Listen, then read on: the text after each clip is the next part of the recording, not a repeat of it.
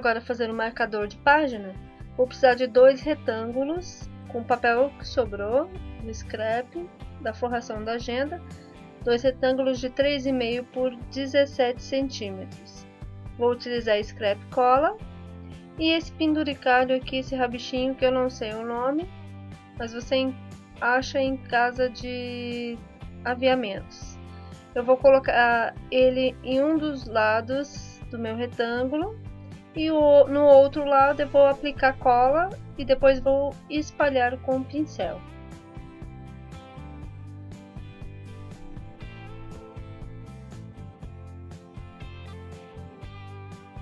Agora eu vou tomar o cuidado para colocar exatamente um sobre o outro. Se por acaso não ficar, antes de alisar eu vou verificar se está tudo certo. Agora sim, se por acaso ali onde tem um rabichinho ficar, eu achar que não, não está muito bom, eu boto mais um pingo de cola e passo o papel. E agora sim que está tudo certinho, eu venho alisando com o papel toalha limpo. Principalmente ali onde a gente botou a fita crepe. Agora eu vou utilizar um pedacinho de embelezador que sobrou lá da minha agenda. Esse é um embelezador da Lituarte, eu vou aplicar é, a scrap cola, passo o rolinho para espalhar. Se quiser fazer esse procedimento em cima do saco plástico é melhor, tem que ser rapidinho para não colar. Agora eu posiciono, acerto no lugar correto e só depois eu vou alisar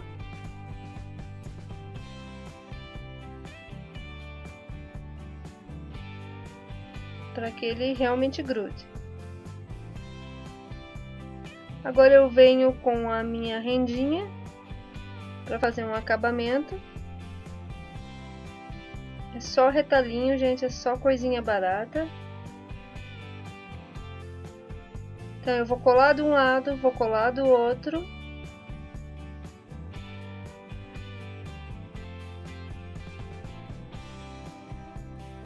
E agora eu vou recortar.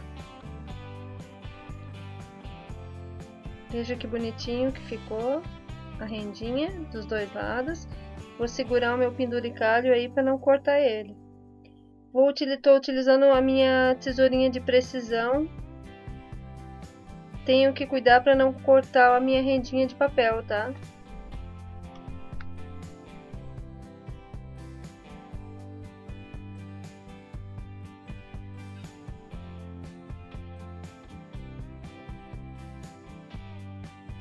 Prontinho. Agora eu venho com meu gel envelhecedor um carimbo de sua preferência, eu estou utilizando esse, e um pincelzinho de cerda macia, esse é o 424, tamanho 12, da Condor. Faço uma camada, não muito grossa, no meu isopor, ele vai funcionar como uma carimbeira. Você aperta E eu vou testar antes no papel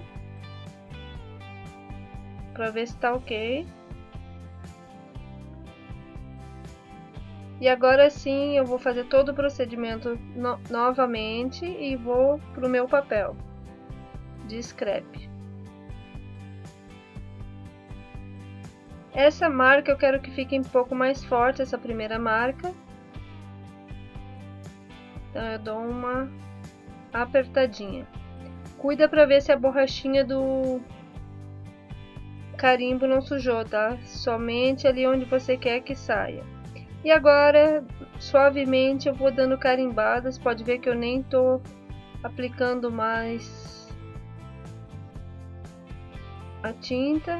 É só para ficar uma lembrança. Só o primeiro eu faço mais forte, o resto tudo suave. Aí é a parte de trás do nosso marcador. E essa é a frente. Agora eu pego aquela minha esponjinha seca, só com uma sujeirinha do gel envelhecedor e vou aplicar nele todo em volta para fazer o acabamento.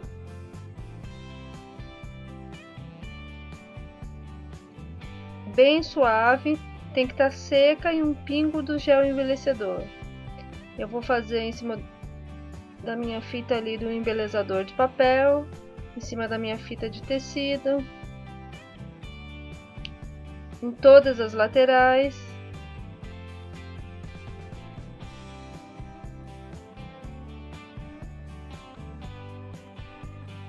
Do lado oposto da renda.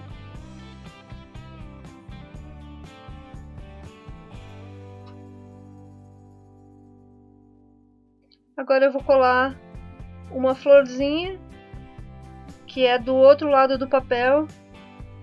Eu recortei ela com a minha tesourinha e agora eu uso a esponjinha.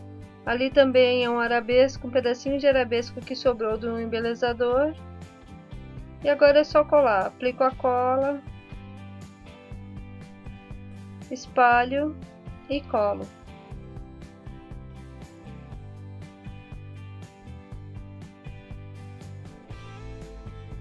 Não esqueça de ver a agenda, o vídeo da agenda customizada, tá gente? Esses papéis que eu vou utilizar aqui, esse material é tudo sobra de lá. Ó, envelheço a minha figurinha ali, a minha flor. E colo da mesma forma.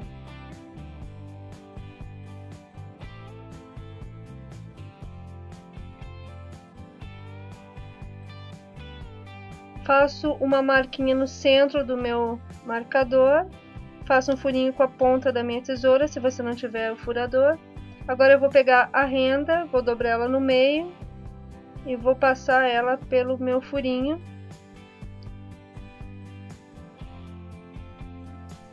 Ela tá dupla ali. E agora eu puxo as duas pontas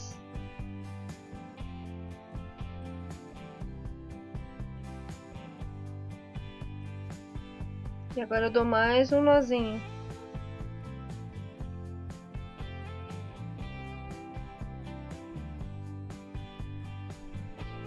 Esse é o lado oposto que vai ficar para o outro lado da agenda. Prontinho, agora eu venho com a esponja só sujinha no gel envelhecedor e também aplico sobre a minha rendinha. Deve ter aproximadamente uns 40 centímetros. E agora eu venho com as minhas pérolas, aquelas adesivadas, e vou aplicar só de um lado. E tá pronto o nosso marcador. Agora, eu, só para dar um toque final, eu coloco uma pedrinha dessa bem no centro, lá embaixo. Espero que vocês tenham gostado, gente. Agora nós vamos para a segunda parte. Olha que fofo que ficou.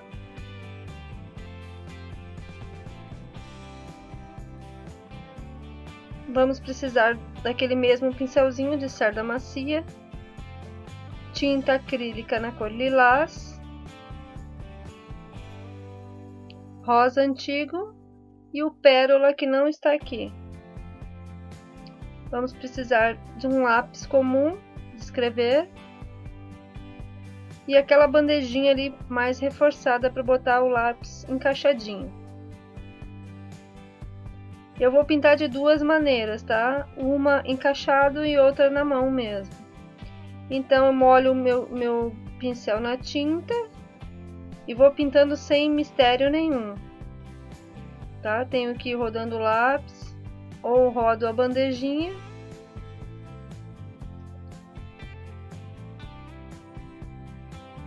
posso pintar o lápis, passar uma mão de tinta e depois vir com o rolinho espalhando. Você faça da melhor maneira, da forma que você achar melhor. O lilás ele é um pouco mais forte, foram só duas demãos, tá? E o rosa foram três.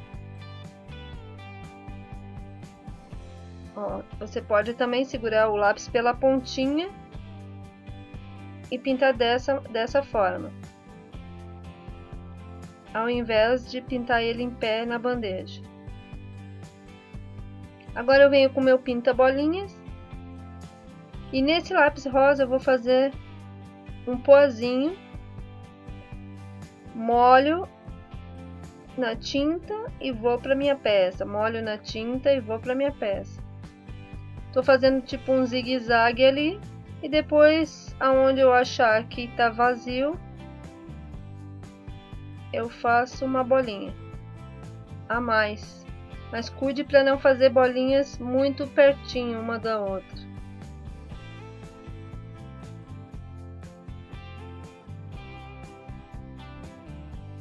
Acho que tá bom já.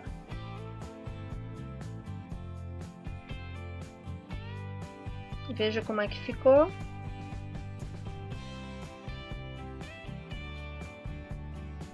E agora, depois de tudo sequinho, eu aplico algumas borrifadas de verniz spray.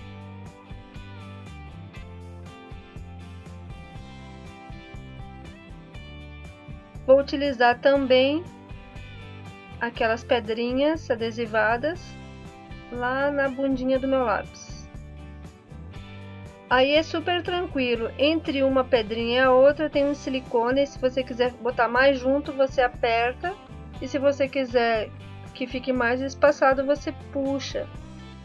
Aí você consegue controlar quantas pedrinhas você quer.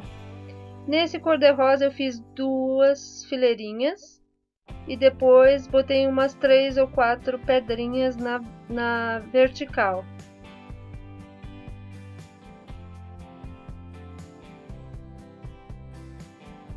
Vai colando, vai ajeitando.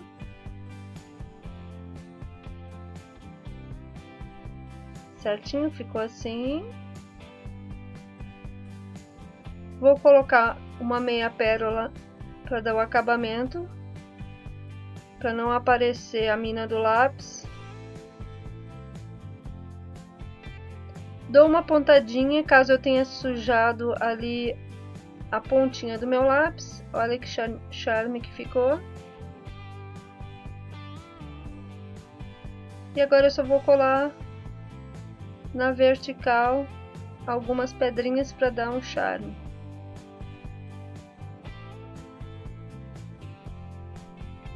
Olha que fofo, gente. Tô toda animada. Agora vamos pro lilás. O lilás eu mantive liso. Já tô ali dando o acabamento na ponta.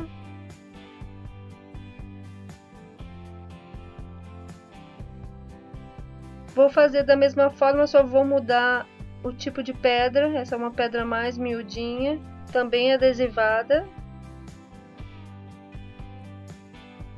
A primeira pedra eu aperto com o dedo com a unha eu corto, ajeito, fiz uma fileira, ajeitei, depois eu faço a segunda.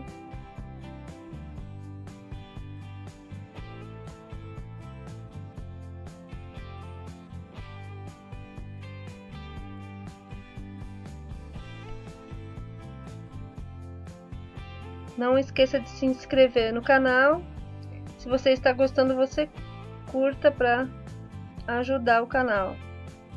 Também vou fazer uma fileira na vertical e vou colocar um strass lá na pontinha.